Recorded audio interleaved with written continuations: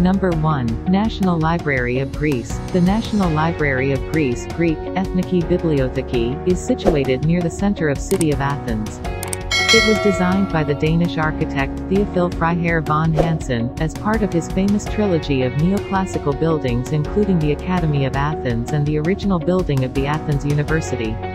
It was founded by Ioannis Kapodistrias. Number 2. Propylaea, the monumental gateway to the Acropolis. The Propylaea was built under the general direction of the Athenian leader Pericles, but Phidias was given the responsibility for planning the rebuilding the Acropolis as a whole at the conclusion of the Persian Wars. According to Plutarch, the Propylaea was designed by the architect Mnesicles, but we know nothing more about him. Number 3. National Garden of Athens. The National Garden, formerly the Royal Garden, Greek, Ethnikos Kepos, is a public park of 15.5 hectares 38 acres in the center of the Greek capital, Athens.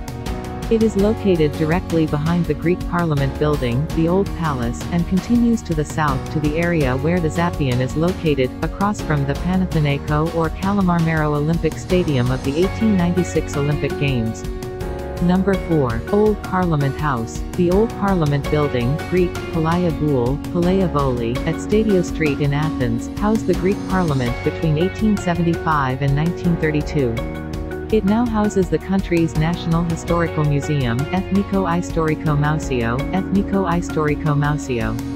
The museum houses the collection of the Historical and Ethnological Society of Greece IEEE, founded in 1882. Number 5. Philopappos Monument. The Philopappos Monument Greek, Nemeo Philopapo, is an ancient Greek mausoleum and monument dedicated to Gaius Julius Antiochus Epiphanes Philopappos or Philopappus, Greek, Gaius Julius Antiochos Epiphanes Philopappos, 65 to 116 AD, a prince from the kingdom of Commagene.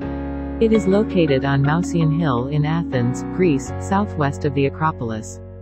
Number 6. ILIASLALAOUNIS Jewelry Museum. Ilias Lalaounis Jewelry Museum is a museum in Athens, Greece, created by the renowned Greek jewelry designer Ilias Lalaounis.